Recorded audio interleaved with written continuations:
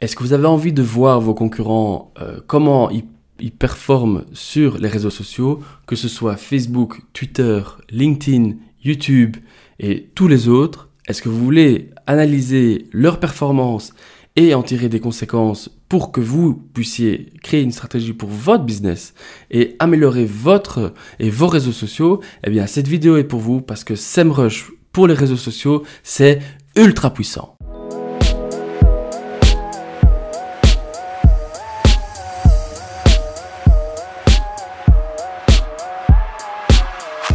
Alors pour me soutenir, pensez à vous abonner à la chaîne. Cette chaîne parle de design, de freelance et de business. Si vous avez la moindre question, n'hésitez pas à laisser un commentaire juste en dessous et je me ferai un plaisir d'y répondre. Alors, SEM Rush, c'est quoi? C'est un outil qui existe depuis des années et l'outil à la base a été créé pour le référencement naturel et donc tous les professionnels et experts de référencement ont au moins un jour utilisé cette plateforme. Cette plateforme a évolué. Aujourd'hui, elle se spécialise dans les réseaux sociaux et c'est après avoir utilisé ça pendant quelques semaines, je dois dire que c'est ultra puissant. Je vais vous montrer en partageant mon écran à quoi ça ressemble et qu'est-ce qu'on peut en faire. C'est parti. Alors voilà, quand on se trouve dans euh, SEM, Rush, euh, vous avez deux onglets. Vous avez la partie SEO, donc tout ce qui est référencement naturel, tout ce qui se rapporte à Google et les autres moteurs de recherche.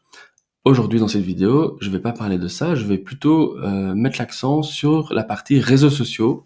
Et donc comme vous pouvez le voir ici, euh, vous avez deux outils principaux vous avez le Social Media Tracker et le Social Media Poster. Donc le tracker, comme son nom l'indique, euh, vous allez pouvoir traquer euh, vos concurrents, les personnes que vous avez envie de suivre, euh, les personnes que vous qui vous inspirent, les personnes voilà qui sont actives sur les réseaux sociaux. Vous allez pouvoir les ajouter. donc vous pouvez en ajouter jusqu'à 20 par projet et donc, quand vous avez fait ça, vous allez avoir des statistiques avec euh, notamment ici, globalement, la tendance des réseaux sociaux actifs euh, par euh, différentes parties. Donc, par exemple, ici, pour Happydesk, on voit que je suis plutôt actif sur Instagram, puis Facebook, puis Pinterest, puis YouTube et finalement euh, Twitter. On voit que mon activité a baissé et c'est parce que probablement parce que j'ai pas posté pendant euh, une semaine, je pense. Euh, donc voilà. Et alors le total, nombre total d'engagement, on voit que la chaîne YouTube commence à augmenter, que j'ai 25 abonnés. Et puis voilà. Donc ça déjà, c'est déjà intéressant de savoir. Et alors ensuite ici, par rapport aux concurrents ou euh, personne, ici en l'occurrence Danilo Duchesne, c'est plutôt un ami et on ne on fait pas du tout la même chose. Il est expert en réseaux sociaux, donc je mettrai son lien euh, en bas de la vidéo si ça vous intéresse. Si vous voulez chercher quelqu'un pour faire de la publicité sur Facebook, c'est l'expert, c'est vraiment la personne qu'il vous faut. Euh, donc ici, on voit qu'il y a différents concurrents, différentes personnes que j'ai décidé de suivre, et je vois euh, les posts les plus, euh, donc le top content sont les contenus le plus le plus partagé, avec le plus d'interaction et le plus d'audience. Et puis en dessous, on a aussi un tracking complet de tous les de toutes les personnes, tous les compétiteurs que vous aurez indiqués. Donc ici, on en a plusieurs. Euh, voilà. Et en l'occurrence ici, Happydesk se trouve tout en bas. On est vraiment loin, loin, loin des autres, mais c'est pas grave. J'ai commencé il y a euh, trois, trois mois maintenant à, à créer du contenu euh, et à le partager. Donc ça prend du temps, il faut être patient. Euh, donc voilà pour la partie globale, mais vous pouvez aussi vous concentrer sur spécialement Facebook par exemple. Et donc si vous choisissez ici Happydesk, vous allez voir que pour un article partagé, il y, a euh, autant d'engagement et le taux d'engagement se trouve ici aussi, le nombre de réactions. Et vous allez voir par rapport à votre contenu, ben, quel est le contenu le plus intéressant pour votre, votre audience. Et vous allez pouvoir ajuster donc euh, le contenu par rapport aux résultats obtenus. Euh, pour Facebook, idem pour Twitter, et également pour Instagram, euh, ici, pour en l'occurrence, j'ai rien. Euh, mais si je prends par exemple notre ami, euh, donc on voit que il a posté à midi 39 une image. L'engagement est de 179. Le taux est là, le nombre de likes et le nombre de commentaires. Et donc ici, on peut voir le post complet euh, qui se trouve ici. Euh, et donc on peut aller voir, euh, un, ici c'est un studio, il n'y a rien. Sortlist, c'est une, une plateforme de mise en relation. Voilà, ici aussi, on voit le 4 juillet 2019, 15h32. Il y a chaque fois l'heure, donc ça c'est quand même aussi intéressant, c'est de savoir à quelle heure les concurrents postent pour essayer de, soit de, de stratégiquement parlant, essayer de voir euh, à quel moment on peut poster. Euh, vous avez le nombre d'engagements également, la photo, enfin voilà, vous avez compris. Vous pouvez vraiment euh, traquer comme ça tout ce qui se passe. Idem pour YouTube. Donc s'ils n'ont pas de chaîne YouTube, donc là je vais prendre la chaîne Happy Desk. Donc voilà, par rapport au sujet abordé, on voit ici que WordPress Webflow, et évidemment WordPress c'est très connu, donc voilà, c'est le post euh, sur YouTube qui a le plus d'engagement. Et puis comme ça, on descend et on voit, on a une vue d'ensemble de tout, de tout, notre contenu. Euh, on peut même aller regarder sur LinkedIn. Euh, il n'y a pas beaucoup d'outils aujourd'hui qui qui permettent soit de poster à l'avance ou quoi sur LinkedIn. Donc c'est c'est assez intéressant d'avoir ça ici dans SEMrush. Et ici, idem, vous avez les, le taux d'engagement, vraiment tous les statistiques. Euh, vraiment, vous avez tout ce qu'il faut, c'est dingue. Euh, et même chose pour Pinterest. Voilà, et là, c'est vrai que pour le coup, il y a vraiment rien sur Pinterest.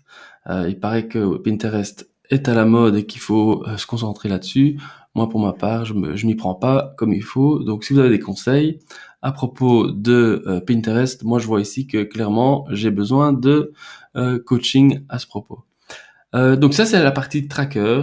Et puis la partie euh, social media poster, vous comprenez bien que ça, il s'agit de euh, d'un calendrier pour poster à l'avance votre contenu euh, sur les différents réseaux sociaux de nouveau. Donc là, ici, euh, vous pouvez regarder euh, les différents posts que j'ai envoyés sur LinkedIn. voilà, on peut regarder le LinkedIn privé, le LinkedIn euh, société, mais là je poste pas grand chose. Euh, Instagram, il n'y a rien. Et Twitter, il n'y a rien non plus.